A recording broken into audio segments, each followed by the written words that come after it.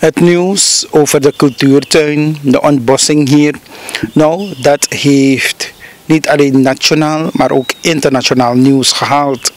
Belangrijk is dat we nu overgaan tot herbeplanten en dat initiatief is er dan genomen door de heer Madar.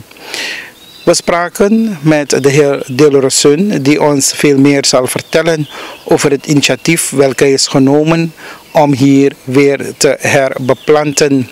Zondag kunnen mensen hier hun boompjes brengen en planten, maar eerst contact of zich laten registreren bij de heer Madar. Telefoonnummer, dat krijgt u ook in het programma, zodat u dan geregistreerd bent. Want men wil niet al een grote drukte hier hebben, vooral met COVID-19.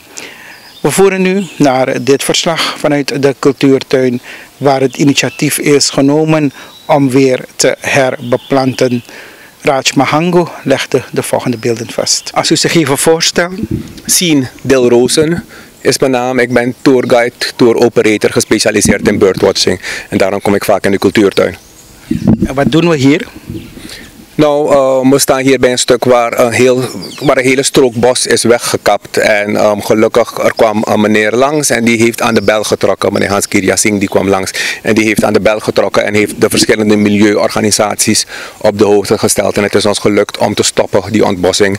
Uh, maar u hebt het gezien in de media, de grond was uitgegeven en die grond zal nu teruggenomen worden. Maar wij zijn nu dus um, er is vanuit de groep van de van Suriname is er een initiatief gekomen om boompjes te planten. Um, ik heb dat initiatief niet genomen, maar um, ik sta er wel volledig achter en help daar dus bekendheid aangeven. Zelf ben ik gewoon via Facebook daarmee begonnen.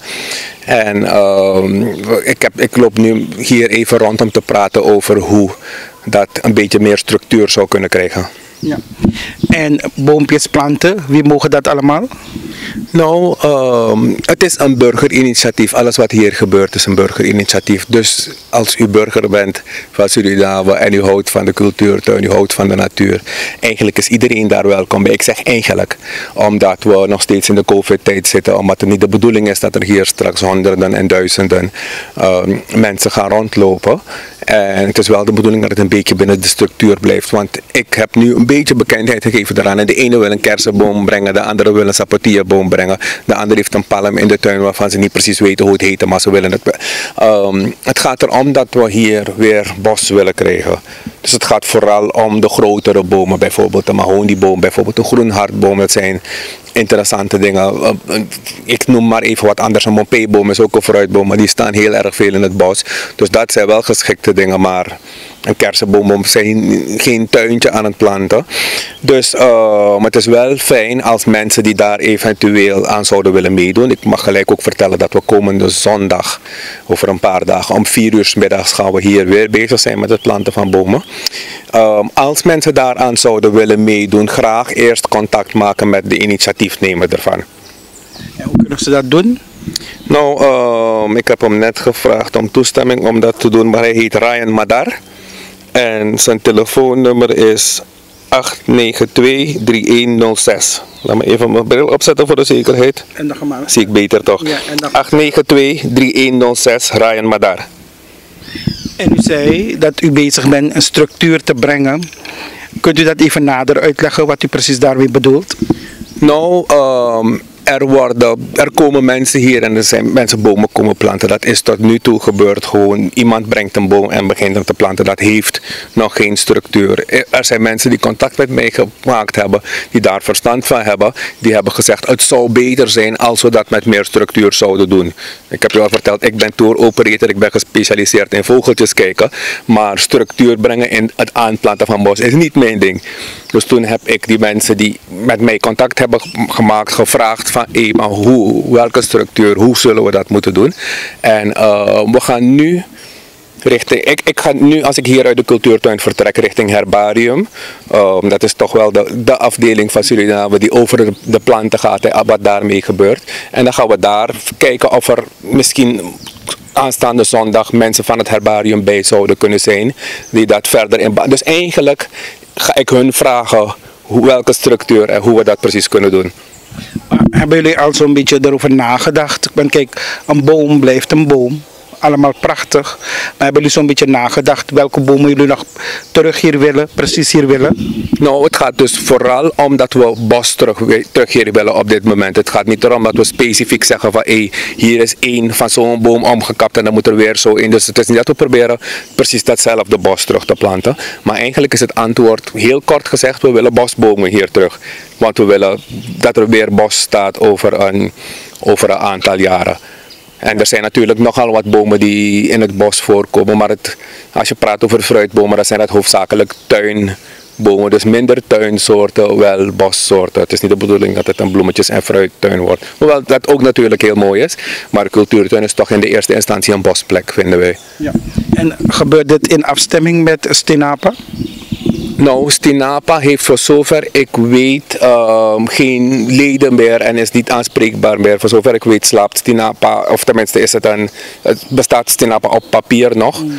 Um, maar nee, dat gebeurt niet in samenwerking met Stinapa. Het is, het is, het is gewoon een burgerinitiatief.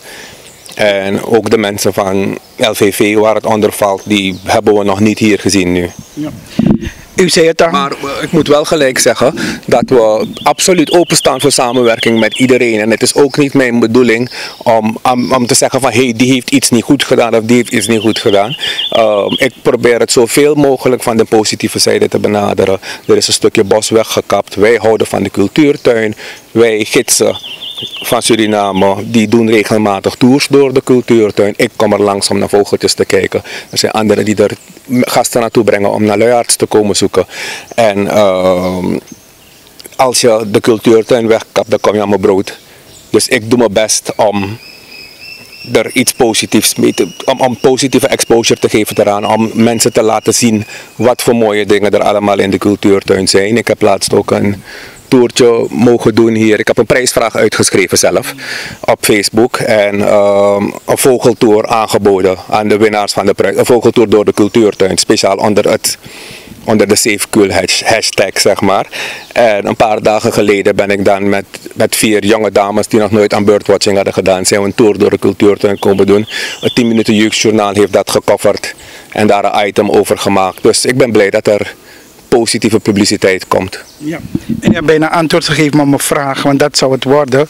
Van, u zei het, het heeft, de heeft de afgelopen dagen vaker nieuws gehaald van wat hier is gebeurd.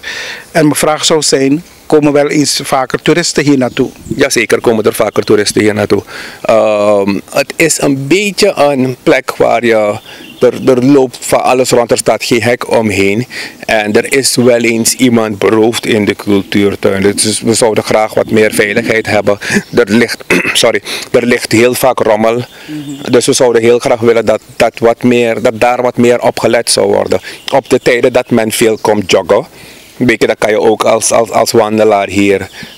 Ik, dus helaas is het op dit moment geen plek waar we toeristen op hun eentje zouden aanraden om gewoon te gaan wandelen. Maar als je met een groep bent en met een gids erbij, dan heb, heb je al wat meer uh, beschermd gevoel. Ik heb zelf jarenlang ben ik vaker met tours door de cultuur dan gekomen en ik heb zelf nooit iets meegemaakt dat er iemand moeilijk deed of dat er iemand lastig deed. Dus ja, er komen, er komen toeristen naar de cultuurtuin, maar ik zou aanraden liever met een gerenommeerd tourbedrijf contact maken en dan uh, onder begeleiding. Ja. En terugkomend op cultuurtuin weer en wat hier zal plaatsvinden zondag. Dus als er geïnteresseerden zijn, gewoon eerst contact opnemen met de heer Madaar. En sowieso alle COVID-19 maatregelen, dat in achtneming. Absoluut, ja. Absoluut. Dus wij willen geen... Um, samen, we zitten op een groot stuk hier. We zitten op um, die, die strook die is is vrijgekomen hier is ongeveer 200 bij 15 meter. Dus er is genoeg ruimte dat hier een paar mensen met een boom bezig zijn en 5 meter verder een paar mensen met een boom bezig zijn. Maar um, het is niet de bedoeling dat we, als, als, er, als er 150 man hier staan straks, dan wordt het toch wel een beetje te druk.